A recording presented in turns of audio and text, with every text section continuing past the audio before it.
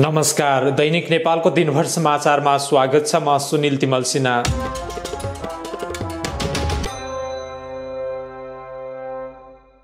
दल विभाजन सम्बन्धी अध्यादेश ल्याउने कुनै तयारी नरहेको प्रधानमन्त्री केपी शर्मा ओलीको दावी। काङ्ग्रेस उपसभापति धनराज गुरुङकी पूर्व पत्नी ज्योति सहित दुईजना विरुद्ध रेड गर्न नोटिसका लागि सिफारिस। सरकारको एक सय दिन विद्युत बिक्री सम्झौतादेखि निर्माणाधीन आयोजनालाई गति दिने प्रयास। भारतबाट काठमाडौँ आएको भिस्तारा एयरको विमानमा बम रहेको सूचनापछि चेक जाँच सूचना अफवाह मात्रै।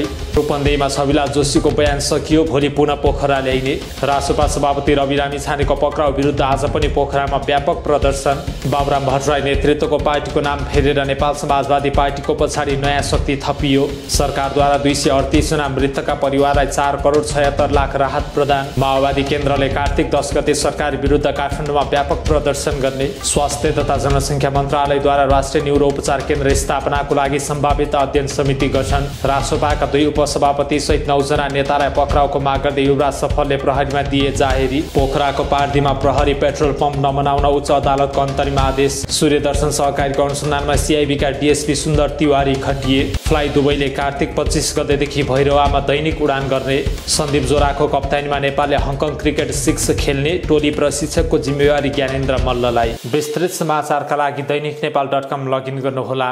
आजका लागि दैनिक नेपालको दिनभर समाचारबाट बिदा दिनुहोस्। नमस्कार।